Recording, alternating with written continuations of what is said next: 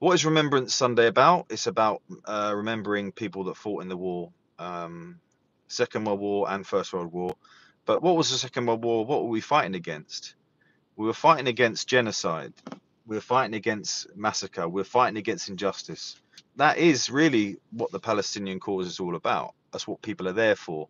And many people are only asking for a, a ceasefire, you know, a ceasefire. Even if you're a Zionist, even if you are um, completely pro, pro, pro-Israeli and and you, fly that flag, why would you not want a ceasefire? Why would you not want to people to stop dying?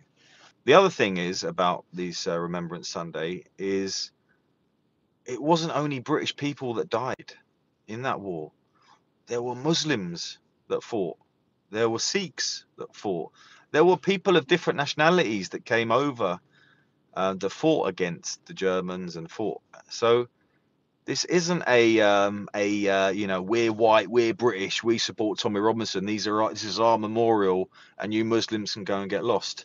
And I'm not I'm not denying that some some of them may actually have um, relatives that that did pass away in the wars, but they seem to suddenly become moral and honourable when we talk about the war memorials. I mean, if you remember on the on the last one, um, people were caught urinating on the on the very war memorials that they were they were there to protect. You know, they all got drunk.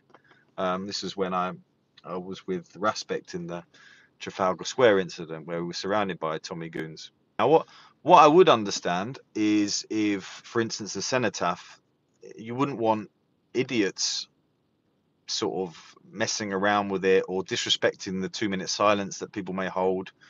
You'd hope that this could all, all work, but me personally, I don't see why Remembrance Sunday and and a and a protest for a ceasefire in Palestine can't work hand in hand. Me personally, um, and and I, I I hate to see it the whole thing hijacked by by Tommy goons. You know, uh, these people that come out with their football shirt and beer bellies, you know, half drunk, saying, "Yeah, how dare you Muslims disrespect our our history?"